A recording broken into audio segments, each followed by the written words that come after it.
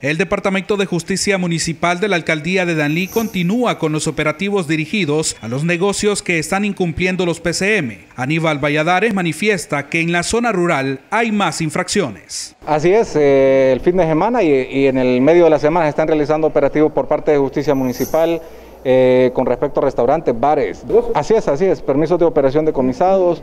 Eh, ahorita ya han venido personas de dueños de estos mismos, ¿verdad?, a, pagar las sanciones. Cabe resaltar que más que todo es eh, en el área rural. cualquier cantidad de desorden hay en el área rural. Se hizo en el, en el viernes, en el, todo lo que fue Matazano, el Empalme, Sartenejas.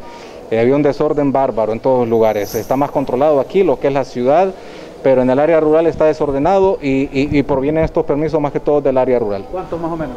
Hay unos alrededor de cinco permisos eh, provisionales, se decomisaron, eh, también unas bebidas alcohólicas también. Eh, que ellos tenían en su poder, también fueron decomisados por parte del Departamento de, Justicia Municipal, ya dejando claro que si el próximo operativo que se realice van a ser cerrados todos estos lugares.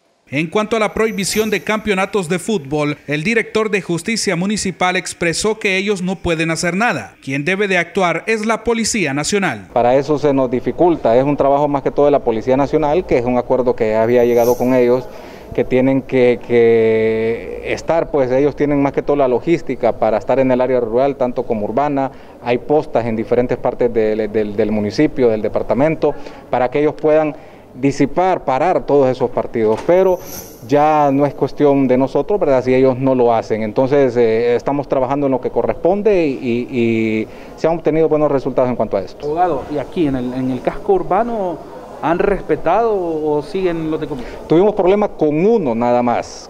Con uno nada más, eh, cabe mencionar que este mismo no estuvo en una reunión que tuvimos nosotros con, con ellos acá, no vino, entonces eh, también se le decomisó el, permiso de operación y ya está para un cierre próximo en caso de incumplir esta semana. Con imágenes de Yera Locejo, Carlos Garmendia, Televisión Oriental.